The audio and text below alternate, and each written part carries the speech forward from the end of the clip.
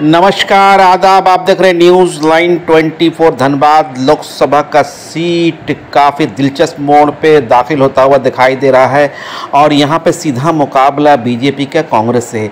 जैसे जैसे इलेक्शन का दिन करीब आ रहा है, कांग्रेस बीजेपी को काफ़ी टक्कर देते हुए दिखाई दे रही है। आज कांग्रेस के उम्मीदवार अनुपमा सिंह जब कुमार डुबी पहुँची तो उनकी एक झलक पाने के लिए सैकड़ों की तादाद में लोग मौजूद थे। और ये कहा जा सकता है कि यहाँ पे कांटे का मुकाबला है। आइए एक तफसील रिपोर्ट के लिए अपने रिपोर्टर गौतम से आपको मुलाकात कराता हूँ।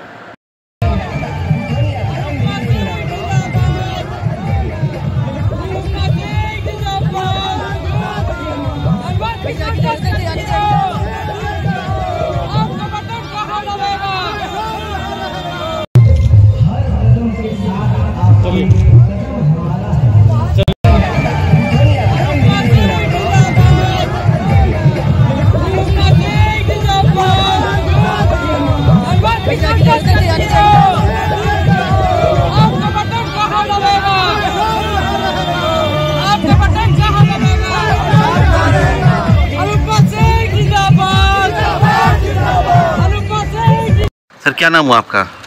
मेरा नाम हुआ जियाउल हुसैन। अच्छा। कांग्रेस पार्टी ग्यारकुंड का प्रखंड अध्यक्ष हूँ। अच्छा आप अध्यक्ष है कैसा रिस्पांस आपको मिल रहा है आप जब डोर टू डोर प्रचार प्रसार कर रहे हैं? बहुत अच्छा प्रचार मिल रहा है। इस बार लोगों का रुझान कांग्रेस की ओर है इंडिया गठबंधन की ओर है। ये मोदी सरकार से लोग विचुत हैं काफ़ी आक्रोशित हैं इसीलिए बदलाव चाहते हैं। पब्लिक पास आप लोग किस इशू को लेकर के जा रहे हैं?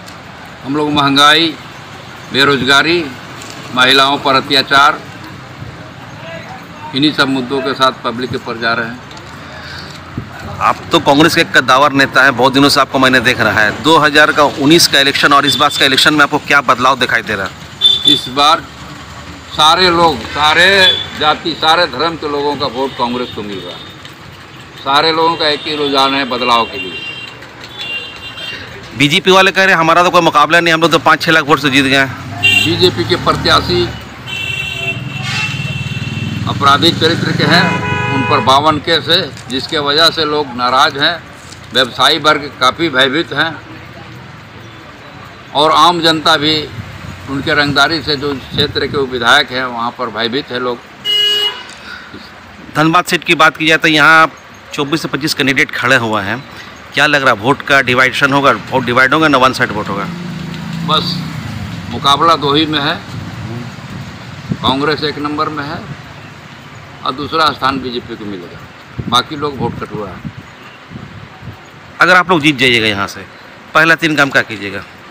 पहला काम पानी की समस्या पर होगा। दूसरा शिक्षा पर होगा। स्कूलों का जो है सुधार किया जाएगा शिक्षा पर सुधार किया जाएगा। तीसरा हम लोग बेरोजगारी पर करेंगे। लोगों को, युवाओं को रोज़गार मिले, रोज़गार के साधन हो, कल कारखाना लगे।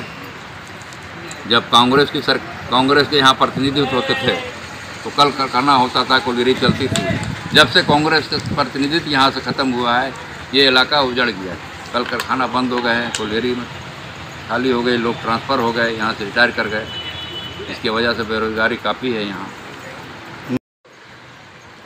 आपके साथ जो लोग हम लोग देख रहे हैं, काफ़ी मेहनत कर रहे हैं, काफ़ी खट रहे हैं और अपने कैंडिडेट को जिताने के लिए रात दिन डोर टू डोर प्रचार कर रहे हैं। ये जो प्रेस कॉन्फ्रेंस है, यहाँ पे जो लोग बैठे हुए मैं चाह रहे हैं अब हमारे ऑडियंस को आप उनका इंट्रोडक्शन दे दें। ये कमलेश सिंह है, सक्रिय कार्यकर्ता हैं, पूरा समर्पित हैं कांग्रेस के लिए। ये माले के वरिष्ठ नेता हैं C P I M L के जिला सचिव नागेंद्र सिंह। ये कौसर अली सामाजिक कार्यकर्ता हैं पूरे समाज के हर कामों में लगे रहते हैं, समर्पित हैं। ये मोहम्मद कासिम अंसारी, धनबाद जिला विस्तृति के सदस्य हैं, झारखंड मुक्ति मोर्चा के सीनियर लीडर हैं। नकुल मोदी, कांग्रेस के जिला सचिव हैं। ये मोहम्मद सिराजुद्दीन।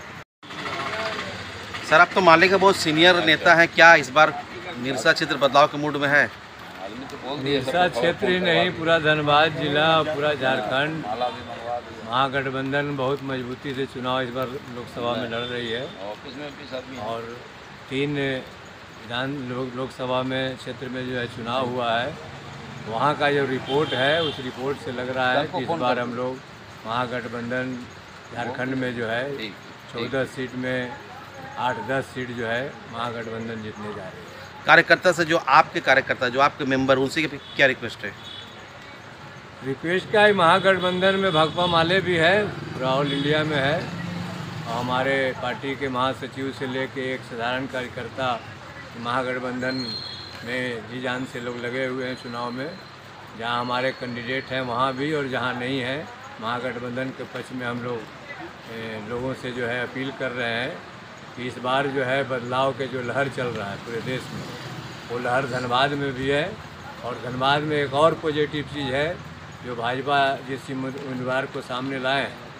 वो उम्मीदवार से धनबाद के तमाम लोग जो है अवगत हैं उनका जो चरित्र है उनका जो क्रियाकलाप उससे लोग अवग, अवगत हैं और लोग अधिकतर लोग इससे भयभीत हैं। उसका भी फ़ायदा हमारे उम्मीदवार जो महागठबंधन के उम्मीदवार हैं अनुपमा सिंह उनको जो है मिल रहा है। और हम लोग निश्चित रूप से धनबाद में इस बार महागठबंधन का जीत जो है निश्चित है। सर क्या नाम हुआ आपका? नईम से आप अभी किस पोस्ट में हैं? हम जेएमएम का जिला कटम कमेटी का मेंबर है। आप जेएमएम कब से कर रहे हैं?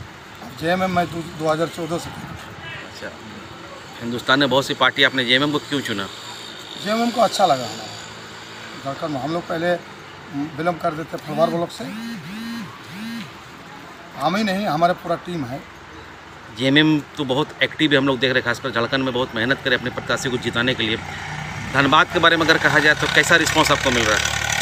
धनबाद के बारे में बोले ना आपको इस बार में जो हमको रिस्पॉन्स मिल रहा है मैंने बीते चौदह साल का चौदह साल हम मैंने 2014 से पार्टी कर रहे हैं उस टाइम से लेकर आज तक जो अभी हमको रिस्पॉन्स मिल रहा है ये सब पहले कभी नहीं मिला। चलिए, पच्चीस तारीख को इलेक्शन है, इसके लेकर के आपके जो कार्यकर्ता, उससे आपकी क्या रिक्वेस्ट है, क्या अपील है? रिक्वेस्ट है हमारा, पहले मतदान, उसका बाद में जल पान